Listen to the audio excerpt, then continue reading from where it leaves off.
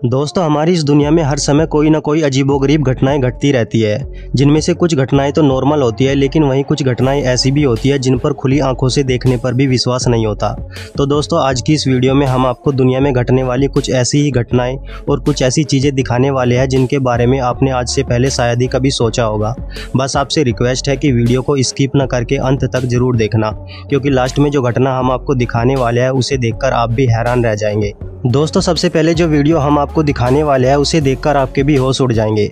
क्या आपने कभी एक कछुए की खाल में सांप को घुसे हुए देखा है? अगर नहीं तो एक बार जरा इस वीडियो को देखिए, जिसमें एक सांप कछुए का शिकार करने के लिए उसके पास गया। लेकिन तभी चालाक कछुआ अपनी खाल के अंदर घुस जाता है, और जैसे ही सांप ने कछुए का शिकार करने के लिए कछुए की खाल के अंदर सर घुसाता है, तभी कछुआ सांप के सर को काट लेता है, जिससे सांप को खुद ही वहाँ से अपनी जान बचाकर भागना पड़ता है। दोस्तों क्या आप जानते हैं कि पेड़ पानी को सोखने के साथ ही पानी को बाहर की तरफ़ भी फेंकते हैं? अगर यकीन नहीं होता तो एक बार जरा इस पेड़ को देखिए जो दिनों शाह नाम के शहर में मौजूद है।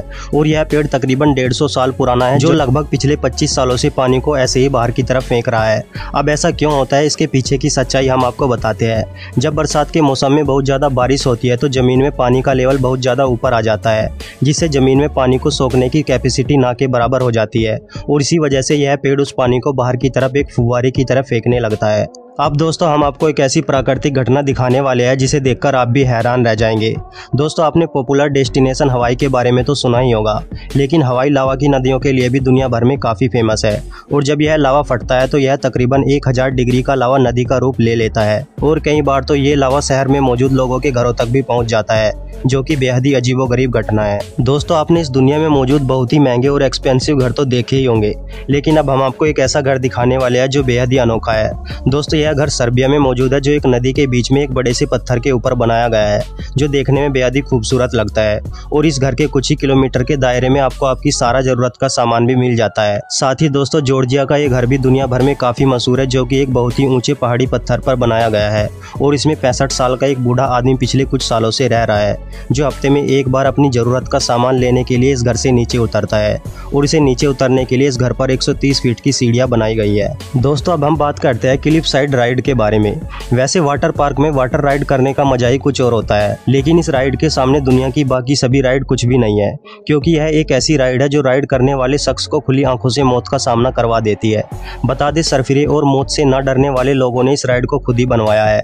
लोग ज़मीन से हज़ारों फीट ऊपर पहाड़ पर इसलिए चढ़ते हैं कि वह वहाँ से कूदकर अपनी मौत का अद्भुत एक्सपीरियंस ले सके और दिल के कमज़ोर लोगों के लिए यह जगह किसी नर्क से कम नहीं है। दोस्तों, जिन लोगों को एडवेंचर का शौक है वीडियो का यह हिस्सा केवल उन्हीं लोगों के लिए है। दरअसल दोस्तों, दुनिया में एक ऐसी जगह भी है जहाँ लोग सार्क मछली को पास से देखने के लिए उसके पास पानी की गहराई में जाते हैं। दरअसल उन्हें स्टील के एक पिंजरे में डालकर पानी की गहराई में भेजा जाता है और इन लोगों को अंदर भेजने से पहले एक कॉन्ट्रैक्ट भी साइन करवाया जाता है कि अगर उन्हें कुछ भी हुआ तो उसका जिम्मेदार वह खुद होगा और उसके बाद यह मौत का खेल शुरू हो जाता है। सार्क अपने खतरनाक नुकीले दांतों से उन्हें काटने की कोशिश भी करती है, लेकिन सरफिरे लोग फिर भी इस काम को करते हैं। दोस्तों, अब हम आपको आपके बचपन के एक ऐसे रहस्य के बारे में बताने वाले हैं जिसे शायद ही आप आज तक भी नहीं जानते होंगे। दोस्तों, आपने अपने बचपन में आसमान में एक ऐसी सफ़ेद रंग की लाइन को बनते हुए तो ज़रूर देखा होगा। लेकिन बहुत कम लोगों को यह पता है कि यह एक्चुअल में होता क्या है। आप जरा एक बार इसी नज़ारे को पास से देखिए। दरअसल इसे कॉन्ट्रेल्स कहा जाता है और इस वीडियो में तैंतीस हज़ार फीट की ऊंचाई पर जहाज़ अपने दोनों इंजन से कॉन्ट्रेल्स बना रहा है।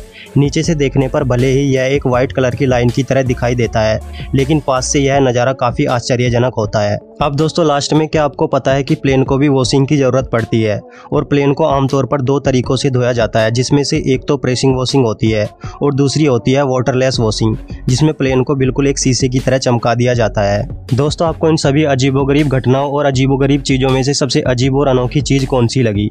हमें नीचे कमेंट करके ज़रूर बताएँ। साथ ही वीडियो अगर पसंद आई हो तो प्लीज़ वीडियो को लाइक करके चैनल को सब्सक्राइब भी ज़रूर कर ले, क्योंकि हम इस चैनल पर इस तरह की इंटरेस्टिंग वीडियो लाते रहते हैं। तो दोस्तों, आज के लिए बस इतना ही, मिलते हैं नेक्स्ट वीडियो में। तब तक के लिए हँसते रहिए, मुस्कुराते रहिए और अपना ख्याल रखिए। Thank you so much